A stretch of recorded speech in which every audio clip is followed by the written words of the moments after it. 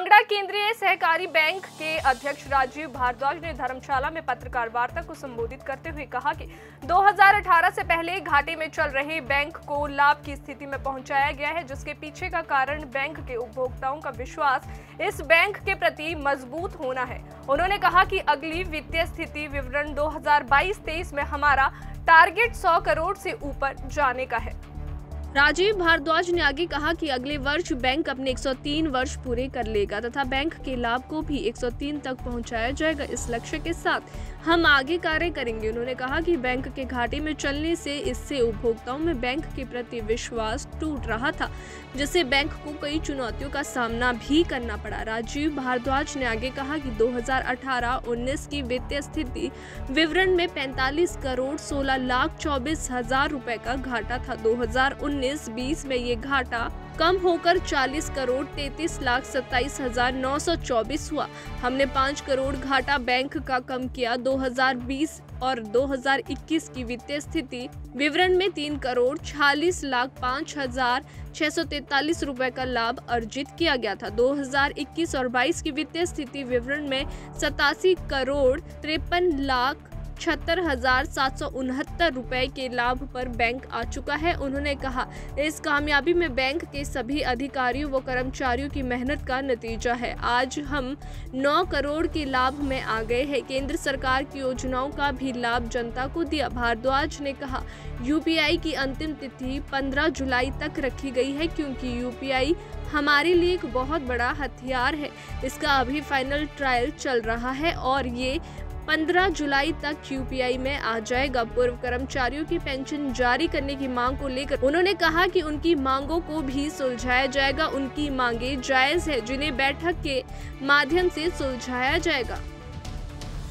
पिछले कल हमारी बैलेंस शीट पब्लिश हुई थी और उसी के संबंध में हमने आज आप सबको ये कष्ट दिया था।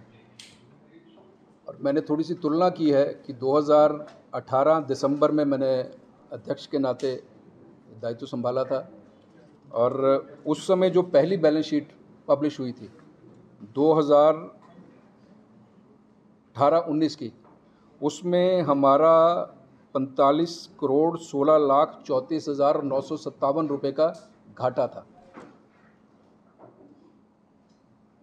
और उसके बाद जो बैलेंस शीट फाइनल हुई है हमारी 2019-20 की, वो घाटा फिर कम होकर, घाटा तो रहा वो, लेकिन वो घाटा कम होकर 40 करोड़ 33 लाख सत्ताईस हज़ार दो सौ चौथी रह गया।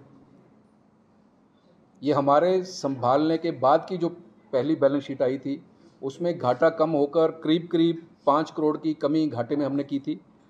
लेकिन उसके बाद जो हमारी 2020-21 की बैलेंस शीट फाइनल हुई उस बैलेंस शीट में मुझे ये कहते हुए बड़ा हर्ष हो रहा है, बड़ा संतोष हो रहा है कि हमारे इस संस्थान ने सबकी मेहनत से, सभी अधिकारी कर्मचारियों, हमारे डायरेक्टर साहिबान की, सबकी मेहनत से हमने तीन करोड़ छियालीस लाख पाँच हज़ार और सात सौ तेईस रुपये का प्रॉफिट गेन किया था।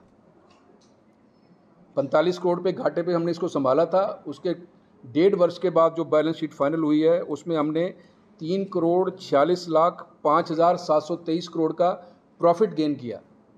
और जो इस बार की बैलेंस शीट है, जो कल पब्लिश हुई है 2021-2022 की, इस बैलेंस शीट को पब्लिश करने के बाद जो आपके साथ बात करते हुए मुझे बड़ा हर्ष भी हो रहा है, मुझे आत्मिक संतोष भी हो रहा है। और मैं इसके लिए परम पिता परमात्मा का सबसे पहले धन्यवाद करता हूँ कि जिन्होंने हम सबको प्रेरणा दी, हमारे अधिकारी कर्मचारियों को धन्यवाद करता हूँ कि और कस्टमर्स का पर्टिकुलरली कस्टमर्स का। उनका धन्यवाद करता हूँ कि जिन्होंने हमारे अंदर विश्वास बनाए रखा।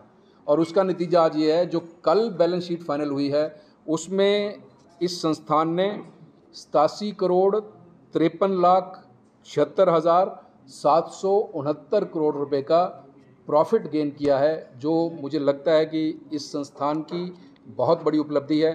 इस संदर्भ में मैंने आज आपसे बात करने के लिए आपको कष्ट दिया था। यूपीआई का फाइनल ट्रायल चल रहा है जी, और मुझे लगा था कि अगर नेशनलाइज्ड बैंक को कम्पीट करना है, हालाँकि हमारे बड़े कंस्ट्रेंट्स हैं, हमारी बड़ी रिजर्वेशन होती हैं